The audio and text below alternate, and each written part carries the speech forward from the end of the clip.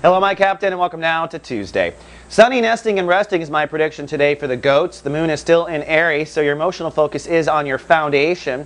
Now, foundation is created by your self mothering, first of all. So, if you're not mothering yourself well, you don't feel well grounded. But this expands to include your family, your roommates, your literal home that you live in, and literally your practices of familyhood. So you are emotionally sensitive in this area and it's time to recharge. And sometimes I say the best thing to do, like I said yesterday, is just to clean the house. You're going to feel so much better with the house clean because your foundation will be grounding you. Now, zipping around the sun, we're in chapter 3 of Sun in Cancer. The topic for Capricorns this month is their long term relationships. And by chapter 3, it's time to start fostering the long term relationship attitude and approach that you want for the rest of the year until this time next year.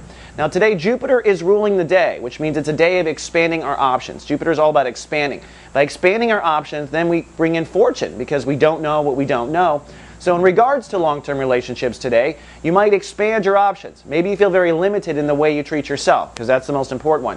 Maybe you feel limited in a certain relationship, but you haven't looked at all the options. You could maybe take a break. You could see a family therapist. You could do lots of things to make it better. And if you're trying to draw in a long term relationship, there's certainly more things you could do. So, expand your options, surf the web, and see what you come up with. Now, one last thing I will bring up the Sun is trining Uranus retrograde for the remainder of this transit. A trine means that the two planets are sharing information.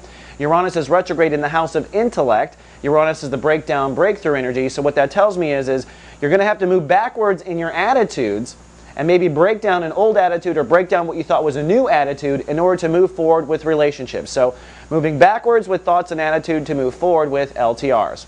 All right, Cappy, that's all I have for Tuesday. I'll see you tomorrow with Shout Out Wednesday. Live, love, be.